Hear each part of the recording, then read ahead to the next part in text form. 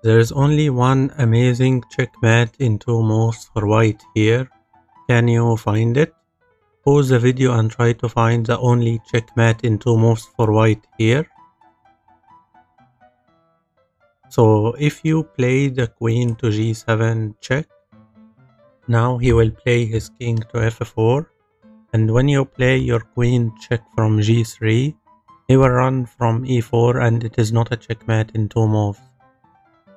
And if you play the queen to h6, threatening check from g5, he will play f4 and when you play your queen check from g5, he will run from h3 and it is not a checkmate in two moves. And if you play the queen to g8, check instead, now he will cover with bishop. And when you take check he will go to f4 and it is not a checkmate in two moves. And if you try to play your king as a waiting move from e3, now he will play f4 and that's a check. So you must move your king to the same place again and it is not a checkmate in two moves. And if you play the queen to b8, threatening checkmate from g3, he will play his bishop to g6 and if you played your queen check from g3, he will run from h5 and it is not a checkmate in two moves. Okay, maybe playing the bishop as a waiting move is the only way here in this puzzle. But now he will play f4 and when you play your queen check, he will run from f5 and attacking your bishop and it is not a checkmate in two moves.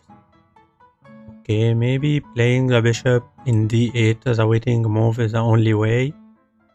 But still he will play f4 and when you play your queen check from g7 he will cover with bishop and it is not a checkmate in two moves.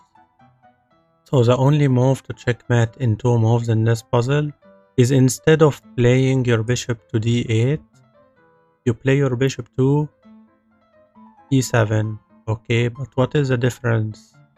When he plays f4 now, can you see the checkmate right now with white? Queen c8 checkmate. He can't go to h3 and he can't go to h4.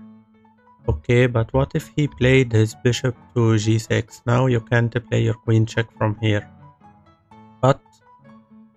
Queen h4 checkmate in two moves.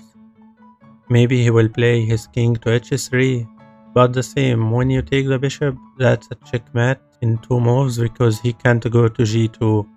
And that's the only way to checkmate in two moves in this puzzle. If you enjoyed it, make sure to like the video and thank you for watching.